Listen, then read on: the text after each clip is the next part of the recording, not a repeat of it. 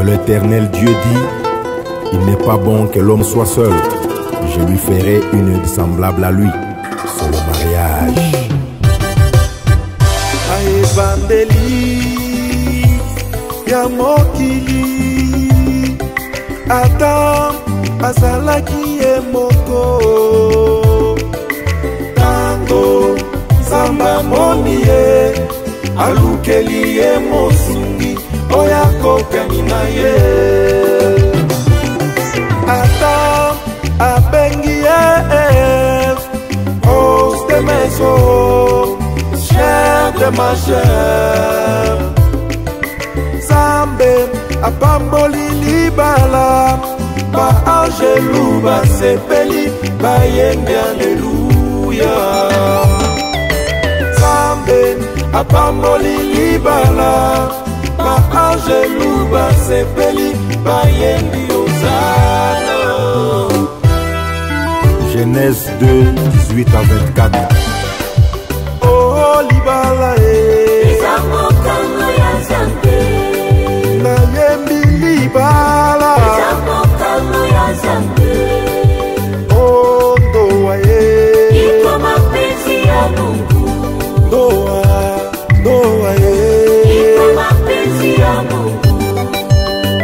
genèse 2.18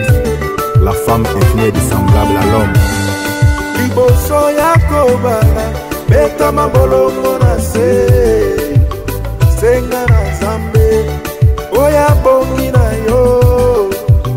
senga na nzambe mwasi oyo akotoza yo ata na ntango ya pasi oyo akotosa yo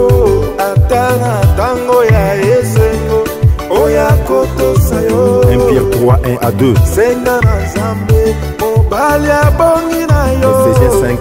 525 oya kolinga yo ata na ntango ya mpasi oya kolinga yo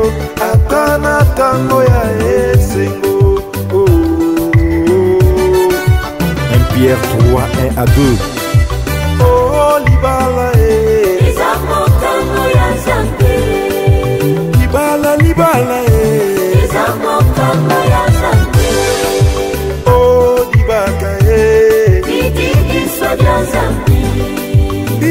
kaka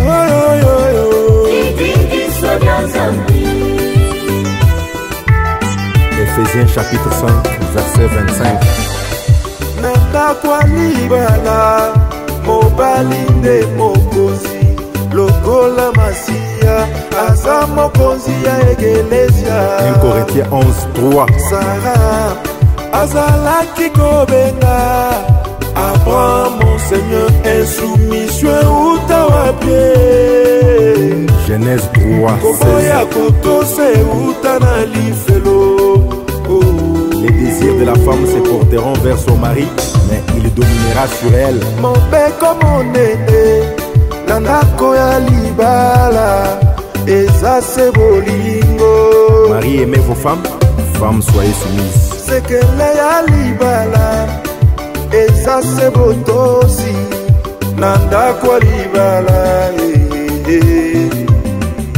mobali ninga mwasi na yo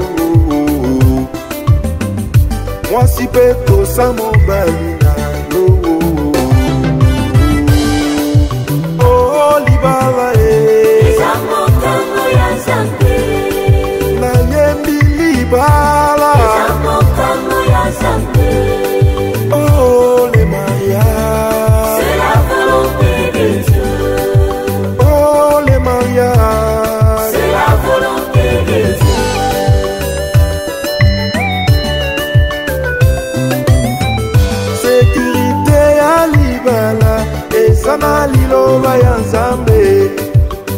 kozwa libala eza mpona bato mibale dans le jardin d'eden il y avait un seul adam et une seule eve eh, eh, eh. ezalaki bolingo ezalaki botosi c'était la fidélité dans le jardin d'eden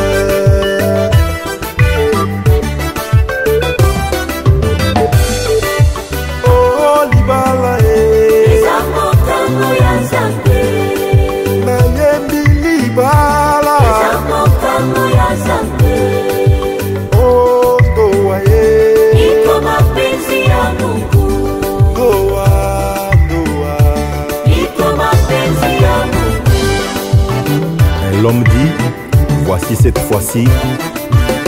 celle qui est os de mes os et chair de ma chair. On l'appellera femme parce qu'elle a été prise de l'homme. Que Dieu bénisse le marié et que le mariage soit honoré de tous.